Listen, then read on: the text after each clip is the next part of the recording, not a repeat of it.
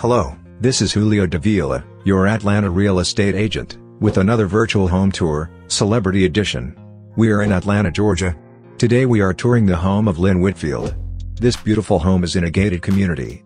The, the first floor of the home was renovationed in 2014.